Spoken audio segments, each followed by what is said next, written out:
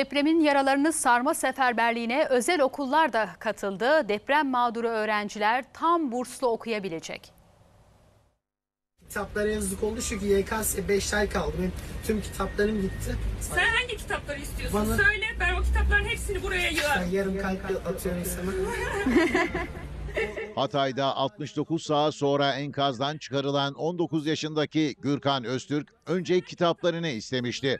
Öztürk gibi üniversite ve lise sınavına hazırlanan gençler için Milli Eğitim Bakanlığı devreye girdi.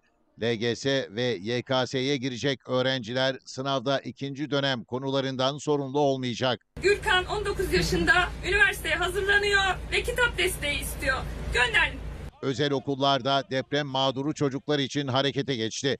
Deprem mağduru çocuklar bulundukları illerde özel okullarda tam burslu okuyabilecek. Okulumuz çocuğumuzun hem kırtasiye ihtiyaçlarını hem e, eğitimini hem e, yemek ücretlerini tamamen karşılamış e, olacak.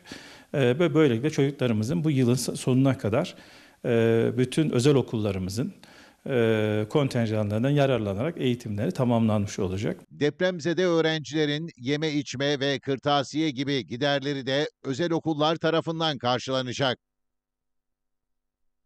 Daha fazla video izlemek için kanalımıza abone olabilir, ilk izleyen olmak isterseniz bildirimleri açabilirsiniz.